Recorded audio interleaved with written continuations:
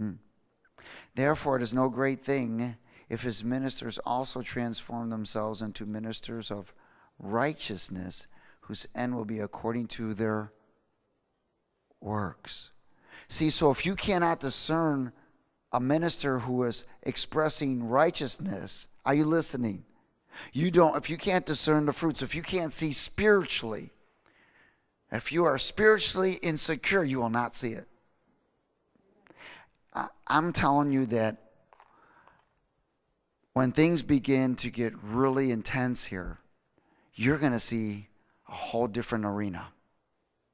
You're going to see big conglomerate churches, and I'm not saying all of them, but where very wealthy places be exposed because they have put their financial blessings in front of the will of God. People flock there because of financial blessing, because they want to be acknowledged in a location where it's well known and publicized. And I'm not saying all of them, so everybody understand. But I'm telling you, you're going to find. That's why, I mean, it's amazing to me in the areas of divorce, fornication, and adultery, in the high offices of ministry, behind the pulpits, and so forth. Evangelists.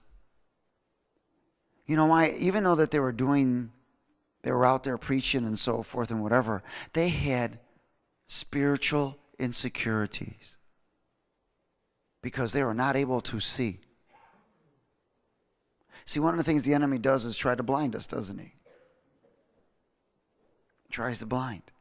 But it's amazing to me that in that arena, because people still follow them.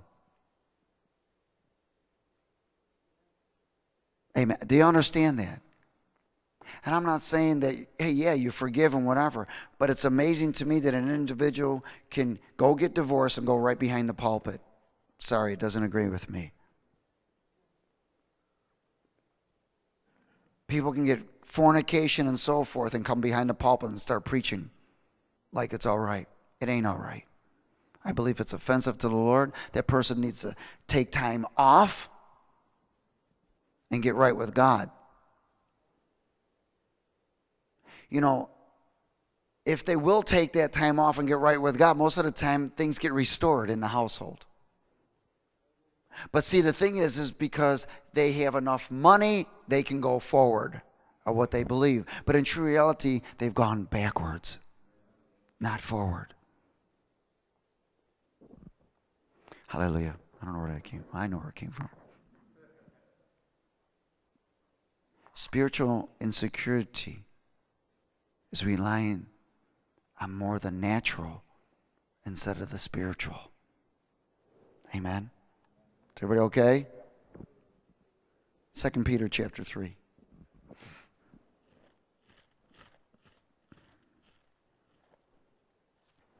You know, everybody gets tempted, don't they?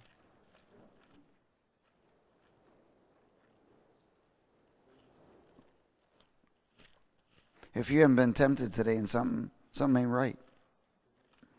Come on, you were tempted to say something, think something, do all kinds of stuff.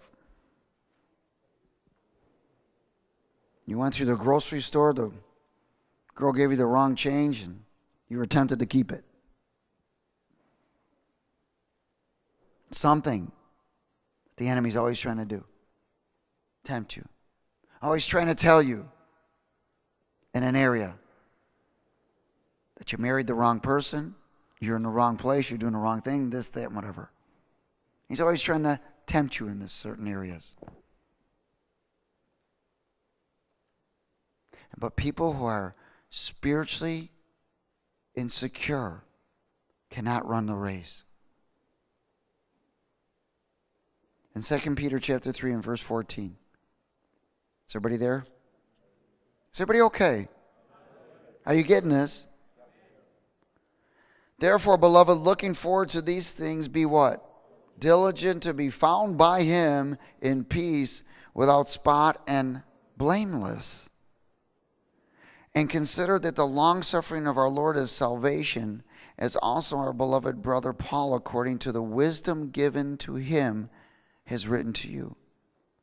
As also in all of his epistles, speaking in them of these things, in which are some things hard to understand, which untaught and unstable people twist to their own destruction, as they do also the rest of the scriptures.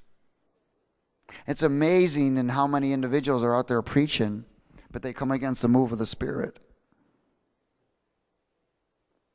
They believe that healing isn't anymore, that casting out devils aren't anymore, that speaking in tongues and so forth. They don't believe it anymore. They only believe it's, well, this is it right here. Does everybody see this? They twist their own, tw- unstable people twist to their own destruction as they do also the rest of the scriptures. They are unstable because they cannot see spiritually. They are bound by the letter and not by the spirit. You therefore, beloved, since you know this beforehand, beware lest you also fall from your own steadfastness, being led away with the error of the wicked. It's called the spirit of error. But grow in the grace and the knowledge of our Lord and Savior Jesus Christ. To him be the glory both now and forever and ever.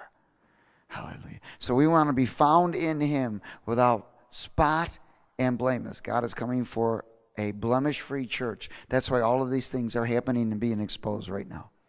We are on this wave that's going to continue on. It's going to go, these wave, this wave that's going to continue and bring us across the uh, wilderness right into the rapture. Go to Zechariah chapter 3.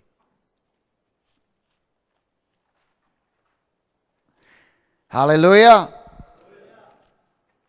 Zechariah.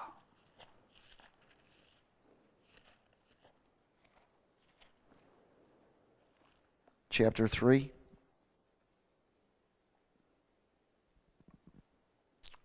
Oh, glory. Is everybody there? Zechariah chapter 3 and verse 1. Let's read it together.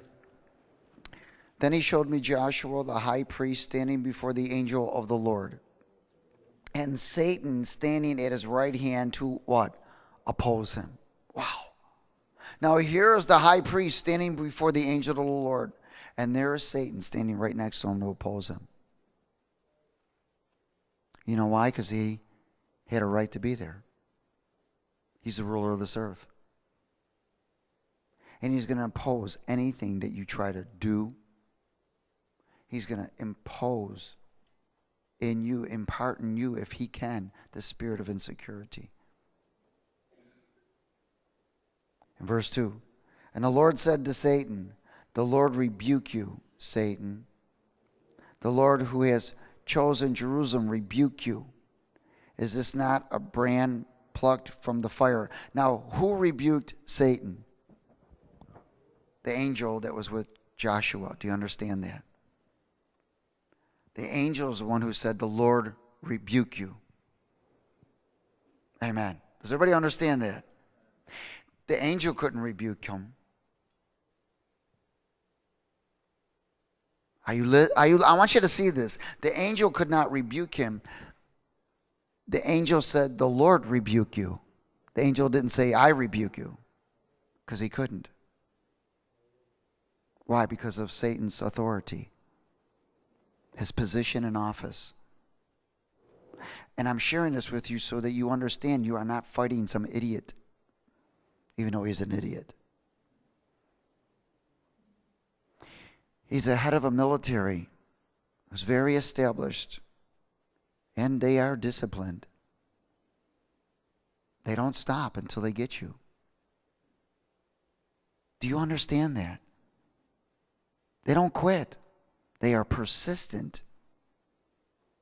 Why? Because they know that their existence is at stake. They are persistent. When Jesus was tempted, the devil finally left, and he did it say? That he would come back at what? An opportune time.